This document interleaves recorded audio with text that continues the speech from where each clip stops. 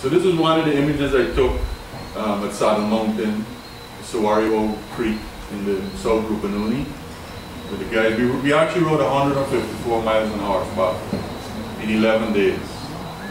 Unbelievable place to ride a horse.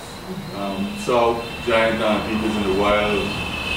Never believe I'm an Indian guy when he's talking about distance because he, he would say that just in front of that mountain means that the mountain must get blue behind you when he says he's going to just in front of that mountain. so um, oh, the guy was in was, is the guy in front there and uh, was an unbelievable trip. This was done in the early 2000s. Um, next slide. We've taken many chances on our trips. Done a lot of crazy things, but always in a, in a manner that was, you're in control of what happened. So it means I got bush yards, a friend broke a hand, another one had a foot injury, both sank. But you're always in control of what you're doing, you know? Um, and so, so as I, as I went on these trips, um, I became a little more uh, interested in photography. Next. As everyone knows in Guyana, the place to go when you talk about nature is, is Falls.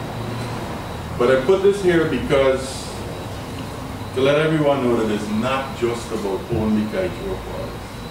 There are a lot of other places in Guyana that could be as, as amazing as Kaieteur Falls. Um, you just have to take the take the chance of going in the interior. Um, next, the Rupununi is one of the favorite places that I go. It's probably the easiest place for all of us to get to. And so this is more or less kind of like a road conditions. I like to drive it in the night. Um, but you could drive the Rupununi Road from Georgetown to, to Lethem and back as a photographer and have an unbelievable experience. Just to drive. So a very good friend of mine and, and, and I, we went on a drive, we just drove like Saturday morning, like at midnight, Saturday morning, drive to Lethem, and then drive back the next day. And the amount of images you could take on the road is unbelievable. You don't have to stay anywhere, you just go and turn around. Next. This is one of the images I would say you could, you, you could never ever put away a camera in the bush. In fact, my wife on, this trip had told me that she's putting away my camera. and I said, you cannot put away the camera because around the bend we'll probably see a jaguar. And around the bend we saw two jaguars. this was like 4 o'clock in the afternoon. Rain had just stopped falling and they didn't move. You know, it's just like you will have to wait because we're in love. so we got very close to them.